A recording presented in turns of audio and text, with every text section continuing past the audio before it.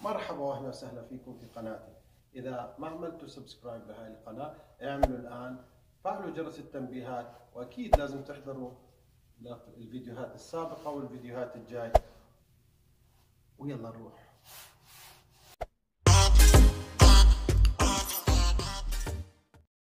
مرحبا يعطيكم العافية وسلام للجميع. موضوع الكورونا فيروس هذا الموضوع اللي آه، أخذ منحنيات كبيرة في حياتنا وغير كتير في أمور اقتصادية وسياسية واجتماعية وصحية ونفسية آه، في ناس كتير تأثروا. لكن اليوم بدي أحكي عن موضوع يمكن مش عن الوقاية ولا العلاج ولا كل هاي الأمور. الموضوع اللي ححكي اليوم عنه اللي هو الإعلام. الإعلام شارك في نشر الذعر للأسف بين الناس في موضوع الكورونا فيروس. للأسف في شغلات كتير لم يتم الإبلاغ عنها ولا التركيز عليها من الإعلام العالمي. في هناك كثير من الأمور الخاطئة والأخبار الكاذبة اللي نقلها الإعلام اللي مفروض إحنا مصدقينه. الإعلام ال ال ال القانوني الإعلام مش اللي عم بحكي عن ال social media والناس اللي بتعمل أفلام من راسها لا. في إعلام موثق عم بنقل عن هدول الناس اللي عم بتسوي يعني فوتوشوبز وفيديو شوبز وشغلات زي هيك. إشي غريب. للعلم يا جماعة إنه معظم الإعلام اللي بتسمعه اليوم أول شغلة بيحكوا فيها كورونا. أول شغلة أول كلمة بيحكوها ال ال الفيروس هذا. لكن للأسف كل الشغلات بيحكوها السلبيات آه ما عم بيحكوا عن الإيجابيات. خليني أعطيكم اليوم دفعة إيجابية. في أكثر من آه ألاف الأشخاص اللي تعالجوا في ستين ألف شخص من 80 ألف شخص في الصين تعالجوا. ستين ألف شخص يا جماعة. الرقم كبير يعني أنت بتحكي عن أكثر من 70% من الأشخاص اللي مرضوا بهذا المرض في الصين تعالجوا. فيعني هذا رقم يدفع للتفاؤل. نسبة الوفيات في هذا الفيروس لم تزد عن 3% في العالم. لم تزد عن 3% وهذا برضه شيء زيد معظم اللي توفوا عمرهم أكثر من 70 سنة اللي أكثر اللي أقل من 50% 50 سنة نسبة الوفيات فقط ما وصلت ال 0.4% يعني أقل من 14% يعني قريب كتير على الإنفلونزا اللي هي 20% طبعا اللي بيعرف مثلا إحنا عندنا في كندا في 77 حالة اللي توفى واحد فقط واحد. هذا الخبر ليش ما بنشروه؟ ما بعرف. المسؤولين يعني تقريبا حياديين في الموضوع هذا. أنا بحكي we have a panic مش epidemic. عندنا في ذعر حالة ذعر كبيرة مش حالة وباء.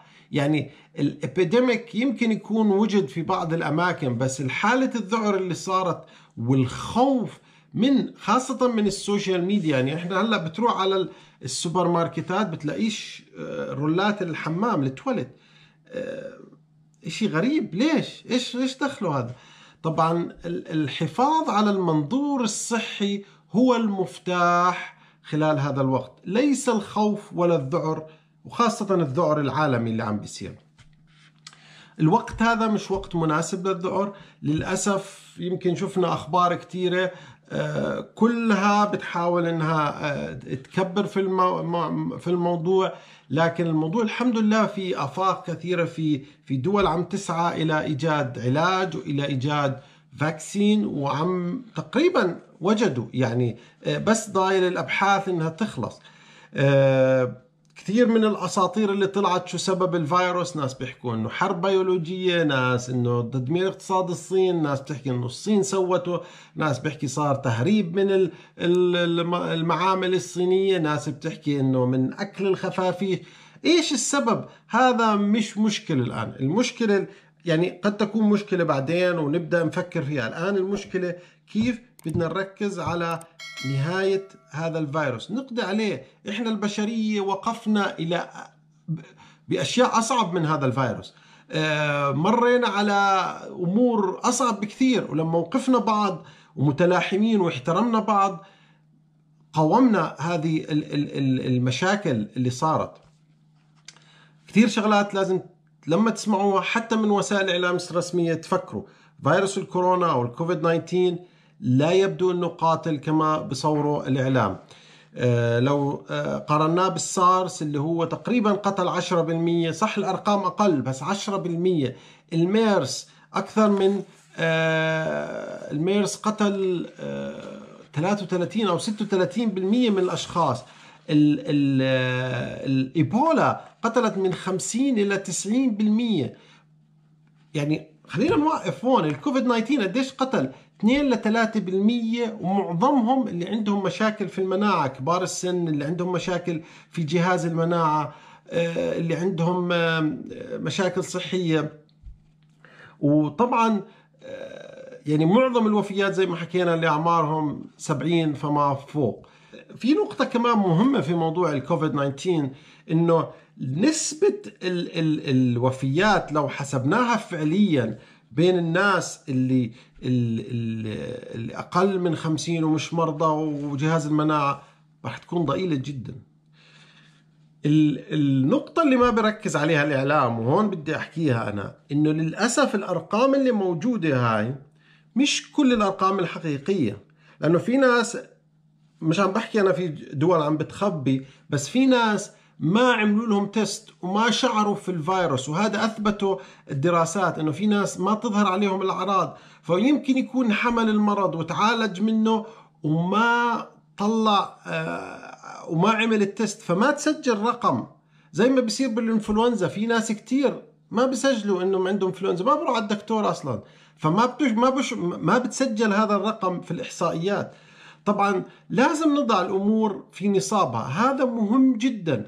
ال ال ال ال الوفيات السنوية اللي بتصير من الحوادث حوادث المرور للمشاة بتزيد ب 50% عن الوفيات اللي بتصير من أو المتوقع أنها تصير من الكوفيد 19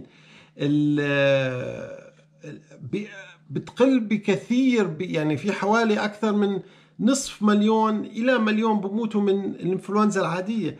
وهذا الرقم طبعا خيالي فإنت الأرقام اللي عندنا إحنا قديش؟ 4000 اللي توفوا 4200 طبعا وفقا للدراسات اللي بتصير في الصين الآن ومن السي دي سي الصيني إنه آه، معدل الوفيات في أول يناير إلى 10 يناير.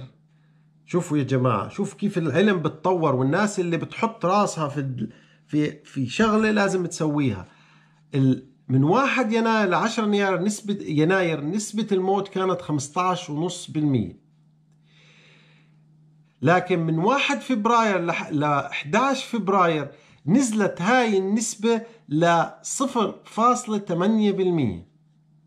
شوفوا من 1 واحد ل 10 واحد كانت 15.5% من 1 2 ل 10 2 أو ال 11 2 كانت 0.8% الرقم يعني يعطي آه، دفعة للأمام.